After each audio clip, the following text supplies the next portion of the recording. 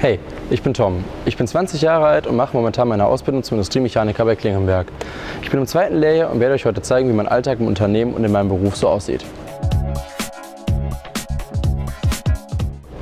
Während meiner Schulzeit wurde mir schnell klar, dass ich nach meinem Abschluss eine praktische Ausbildung beginnen möchte, in der ich mein technisches Interesse ausleben kann.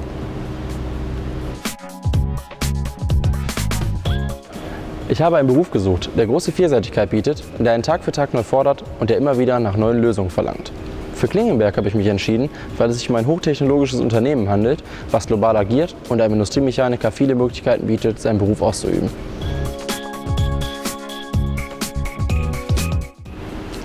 Da mein Beruf sehr vielseitig ist, ist kein Tag wie der andere. Allgemeine Aufgaben in meinem Berufsalltag sind das Montieren von Baugruppen, die Endmontage von Maschinen und das Instandhalten von Anlagen.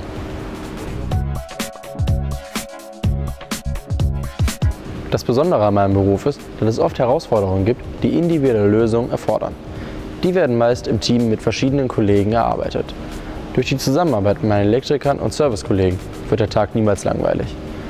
Vom Groben bis ins Feine ist bei meiner Arbeit alles dabei.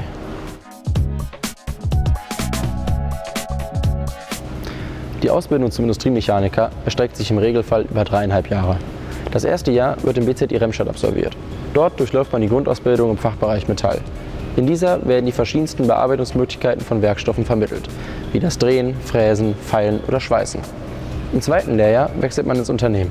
Dort durchläuft man verschiedenste Abteilungen im Maschinenbau und Service, in denen Industriemechaniker eingesetzt werden. Während der gesamten Ausbildung besucht man diverse Fachlehrgänge im BZI und das Berufskolleg Hückeswagen.